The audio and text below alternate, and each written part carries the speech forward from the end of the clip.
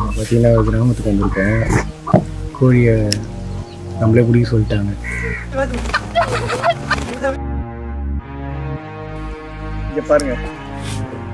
ஏதோ சீக்கிரம் தீக்கணுமாமே நாட்டுக்கோழி நாட்டுக்கோழி இது வரைக்கும் பண்ணதில்லை. முன்னாடியும் பண்ணதில்லை. வெடக்கோழி. அதாவது ஒரு உயிரை சாவடிச்சுட்டு பழைய காலத்து பத்தில் நெப்போலியன் மாதிரி பேசுறாரு. வெட்டைக்கோழி அப்படின்றது ஸோ காய்ஸ் இப்போ வந்து பார்த்தீங்கன்னா ரொம்ப கஷ்டப்பட்டு இந்த காயிற வெயில ஒரு கோழியை ஓடி பிடிச்சி நாங்கள் கஷ்டப்பட்டு பிரியாணி செஞ்சுக்கிறாங்க ரெண்டு பேரும். இல்லை இல்லை அவர் தான் செஞ்சாரு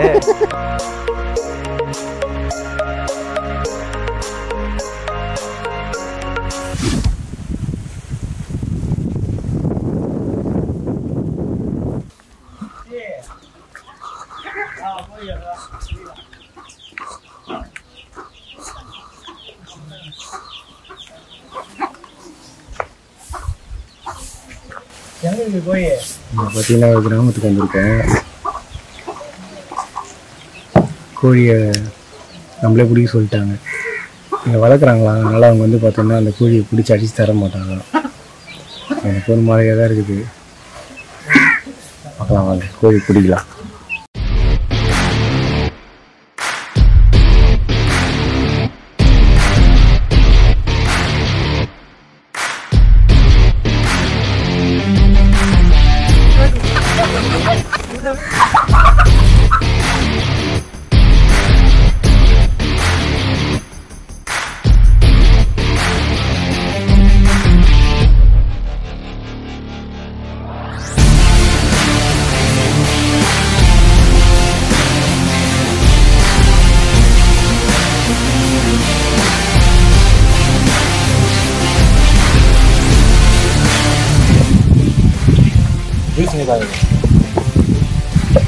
இருக்கிறது முடித்து கொண்டிருக்கிறேன் ஒரு பக்கம் கோழி முடித்துக் கொண்டிருக்கிறார்கள் இஞ்சு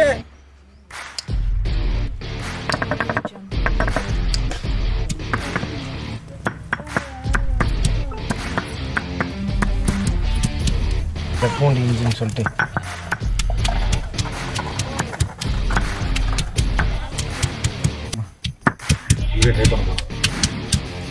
இங்க பாருங்க. இது எதாவது தீக்கணுமாமே நாட்டுக்கோழி நாட்டுக்கோழி இது வரைக்கும் பண்ணதில்லை. முன்னாடியும் பண்ணதில்லை.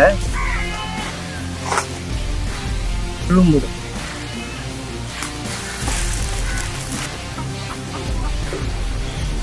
ஷோரூம்ல பண்ணி தரப்ப சாப்பிட்றப்ப டேஸ்ட் வந்து நாக்குல இருக்கு. கஷ்டப்பட்டு செய்யறப்ப கொஞ்சம் கஷ்டமா தான் இருக்கு. சரியா பாதி வந்து இருந்து பாதி சீட்டிக்கு.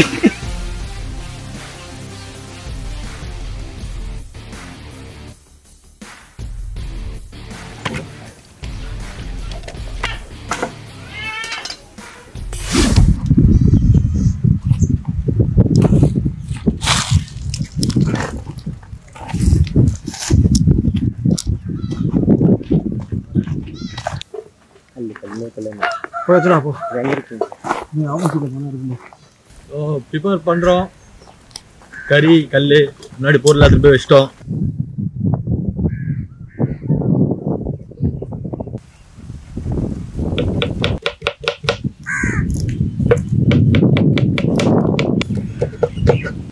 இது வந்து பாத்தீங்கன்னா இவரோட ஃப்ரெண்டோட வில்லேஜ் இது. அதனால வந்து பாத்தீங்கன்னா இவர் கொஞ்சம் நம்மளுக்கு சப்போர்ட்டிவ் ஹெல்ப் பண்றாரு. இங்க இருக்கிற வீடுங்கள்ல அந்த கோழி புள்ளி விஷயம்லாம் பண்ண இல்லைங்களா அது இவர் தான் ஹெல்ப் பண்ணாரு. அவர் ஃப்ரெண்டு கணேசன் வந்திருக்காரு அவர் வரல இன்னைக்கு. ஆனா வந்து பாத்தீங்கன்னா அதுக்கு பதிலா இவர் அமுச்சு விட்டாரு. இவரும் சென்னையில் தான் இருக்காரு. என்ன அழுகுறானுங்க ஆமா. அதனால இவர் வந்து பாத்தீங்கன்னா நமக்கு ஹெல்ப் பண்றாரு. மிகப்பெரிய நன்றிகள். ரொம்ப ஃபுல்லா இங்க வந்து எல்லா ஹெல்ப் பண்ண தான் பண்றாப்ல. ஆமா. இதை கேட்டீங்கன்னா வந்து பாத்தீங்கன்னா பிரியாணி ஆல்மோஸ்ட் இவரே மேக் பண்றாரு நாங்க கஷ்டப்பட்டு பண்றது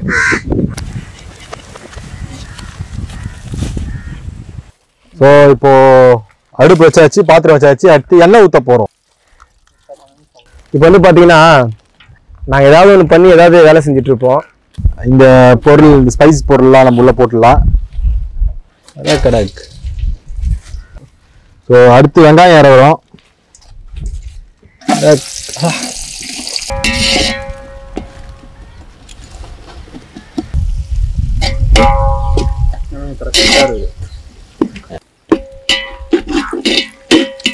பச்சை மிளகாய் எதுக்குன்னா காரம் கொடுக்கும்.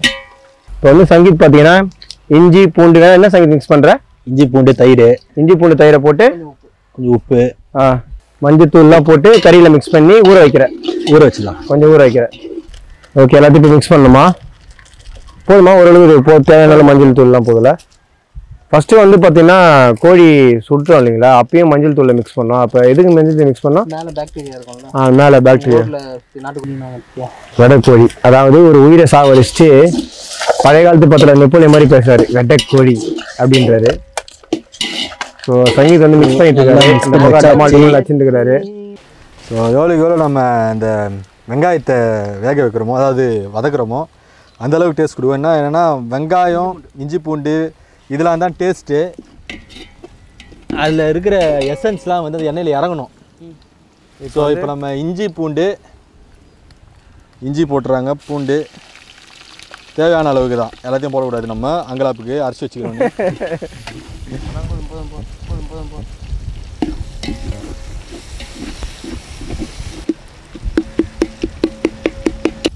நம்ம நாட்டுக்கோழியை நம்ம இறக்குறோம். ஸோ இதுக்கு பாருங்கள் எல்லாம் போட்டு மேக்னம் பண்ணி வச்சுருக்குறோம். ஓகே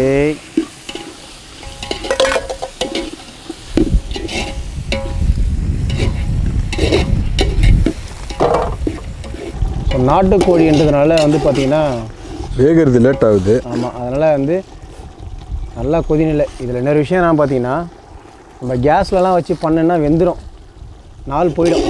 அடுப்புன்றதுனால நாலு பக்கமும் அனல் அழகாக இருக்குது. ஸோ சூப்பராக வேகுது. எப்பவுமே வந்து பார்த்தீங்கன்னா இந்த கரண்டி கழுவுறதுல ஒரு இன்வால்மெண்ட் தான் எல்லாருக்கும். அதில் போட்டு அழுக்கு தான் ஆக்க போகிறாங்க காரம் போதுமா அப்போ தண்ணி. அரிசி போடு அரிசி ரைஸாக வந்து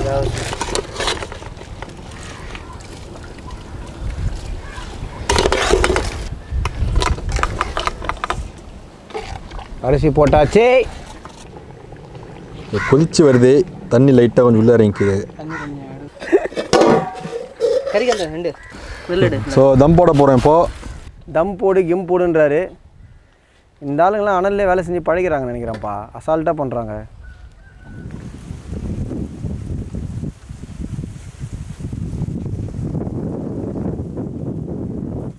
ஸோ ஓப்பன் பண்ணுறோம் பார்த்தீங்கன்னா வந்துடுச்சே.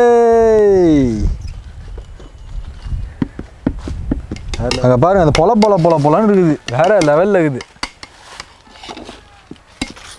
செம்மையாக இருக்குது சாப்பாடு. ஸோ காய்ஸ் இப்போ வந்து பார்த்தீங்கன்னா ரொம்ப கஷ்டப்பட்டு இந்த காயிற வெயில ஒரு கோழியை ஓடி பிடிச்சி நாங்கள் கஷ்டப்பட்டு பிரியாணி செஞ்சுக்கிறோம் நாங்கள் ரெண்டு பேரும். இல்லை இல்லை அவர் தான் செஞ்சார். ஆனால் யூஸ்வலாக நாங்கள் தான் செய்யலான்னு வந்தோம். பட் அவர் பதவி அவர் ஏற்றுனால நாங்கள் ஒன்றும் பண்ண முடியாது. ஓசியில் யார் கொடுத்தாலும் சாப்பிட ரெடியாக தான் இருக்கும். இங்கே பாருங்க. நாங்கள் சும்மா அப்படியே வேணா மலர் மலர் மலரா அப்படியே பிரியாணி. ஸோ வந்து பார்த்தீங்கன்னா இப்போ நம்ம வந்து சாப்பிட போகிறோம் சாப்பிட்டுட்டு எப்படி இருக்குதுன்னு சொல்லிட்டு சீஃப் குக்கா குக்காக இருக்கிறவர்கிட்ட நாங்கள் ரிவ்யூ சொல்ல போகிறோம் போங்க. ஸோ இங்கேயே உட்காந்துருவோம் சங்கீத் புழக போகிறோம் ஆ, இந்த இடம் நல்லா இருக்கும்னு நினைக்கிறேன். இது ஆ. ஆ, இன்னொரு ஸ்பெஷலான விஷயமும் நம்மக்கிட்ட இருக்குது இங்கே பாருங்கள் தர்பூசணி. பக்கத்தில் வந்து விளைவிச்சாங்க ஒன்று எடுத்துகிட்டு வந்துட்டோம். முடிச்சுட்டு அதையும் சாப்பிட்றோம். அப்படியே தலை தலை தலை போட்டு. ஓகே இப்போ பிரியாணி போடுறாங்க போடுறாங்க போடுறாங்க போடுறாங்க. போட்டாங்க. என்னடா இலை பெருசாக இருக்குது சாப்பாடு கம்மியாக பார்க்காதீங்க. அந்த அக்கா இவ்வளோ பெரிய இலை தான் கட் பண்ணி கொடுத்தாங்க. அந்த ஊரில் ஒரு அக்கா கிட்ட இலை கேட்டோம். ஸோ இங்கே பார்த்தீங்கன்னா செம்மையாக இருக்குது இது பார்த்தீங்கன்னா காலிலேருந்து ரொம்ப பசியில் இருக்கும். எங்களுக்கு ஸ்மெல்லே வேற லெவலில் இருக்குது. ஆமாம் நீங்கள் வந்து சாப்பிட போகிறோம் ஸோ காய்ஸ் எப்படின்னு பார்க்கலாம்?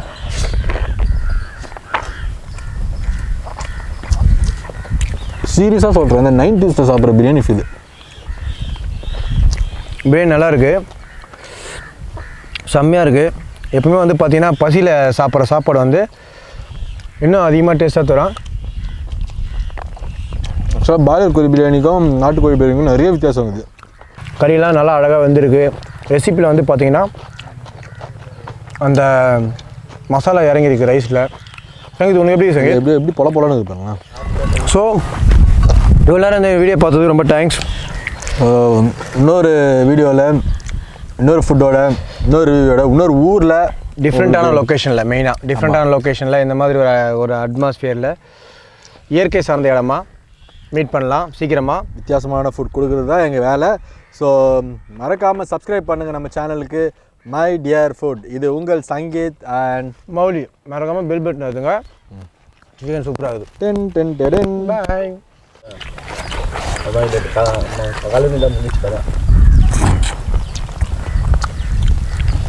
பிரியாணி பண்ணா? பாதி காய் எடுத்துடலாம். ஏன்னா நம்ம டீம் மெம்பர்ஸ் சில பேர் கூட வந்திருக்காங்க ஹெல்ப்புக்கு அவங்ககிட்ட பாதி கொடுத்துடலாம். ஆக்சுவலாக வந்து பார்த்தீங்கன்னா நான் எதுவும் சொல்ல விருப்பப்படல. எனக்கு எனக்கு வந்து பார்த்தீங்கன்னா இந்த தட்டு தூக்குற வேலை கொடுத்துட்டாங்க. இந்த தட்டு தூக்கி நான் நின்றுட்டுருக்கிறேன் அப்படியே இந்த தட்டில் இருக்கிற இன்க்ரீடியன்ட்லாம் அதில் கொட்டணுமா? அப்புறமா அதுலேருந்து கொஞ்சம் பிரியாணி கொட்டினாங்கன்னா அப்படியே தின்ட்டு வீட்டுக்கு போயிடுவேன் நான். அதை தான் யோசிச்சுட்டு இருக்கிறேன். இவங்ககிட்ட வீடு எடுத்துகிட்டே போராட்டமாக இருக்குதியா? ஒவ்வொருத்தரும் வீடு எடுத்து எவ்வளோ கஷ்டப்படுது தெரியுமா? கரெக்டாக இருக்குது என் குடியா? எனக்கு வாங்க குடியா? ஏயா இன்ட்ரெஸ்ட் இல்லையா உங்களுக்கு? அது யாருன்னு பார்த்தோன்னா மிஸ்டர் சரவணன். அவரை பற்றி ஏன் நான் சொல்கிறேன் அப்படின்னா அவரே சொல்ல சொன்னார். அதனால தான் சொல்கிறேன் இந்த ஃபுட்டை டெலிட் பண்ணுறேன்